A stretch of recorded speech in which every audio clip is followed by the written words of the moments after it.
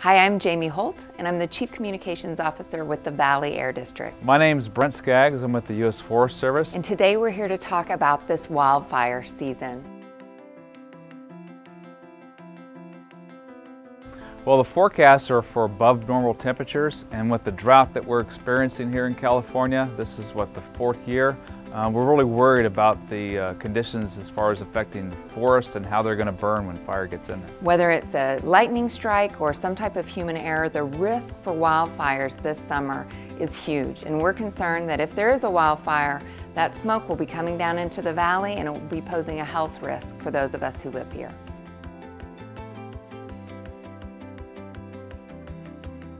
Smoke is one of our um, most dangerous air pollutants that, that you might be exposed to, whether it's our wintertime smoke coming from fireplaces and wood stoves, or unfortunately smoke from wildfires during the summer. The smoke will trigger uh, folks who have asthma. They'll have a reaction. It has all sorts of impacts. It can aggravate asthma, emphysema. If you're at risk for heart attack, it can make that risk greater, and it can just irritate us. So there's a whole variety of impacts that come around when we see lots of smoke in the valley, especially if we have several wildfires burning at one time and bringing smoke into the valley.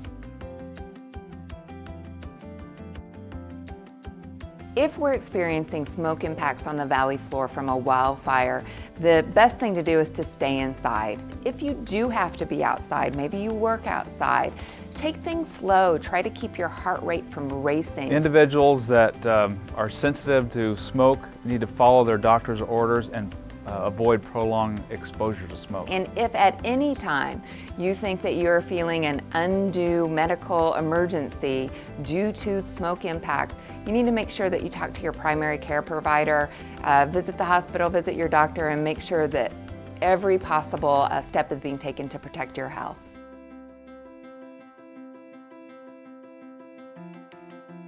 If you're outside and you can smell smoke or you can see it, more than likely you're being affected by it. A great way to check to see if there are smoke impacts in your neighborhood from wildfires that might be burning in our mountain areas is to go to the valleyair.org website. We have a link right on our homepage that will give you information about where the fire is, if that fire is bringing smoke into the valley and what the air quality impacts might be. In addition, we always uh, recommend that folks sign up for our Real-Time Air Advisory Network.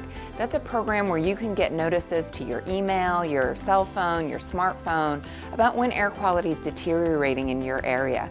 Thank you so much for watching. We hope this information has been useful. If you need more information, check out the Valley Air District's website at valleyair.org. Here's wishing you a very safe and fun summer season.